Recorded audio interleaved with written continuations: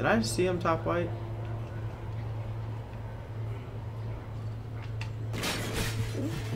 We lost that round, but we can still win this. What? Bro, I was a hundred ten percent. What? Are you serious? Alright, bro. At Anthony Ward. Alright, bro.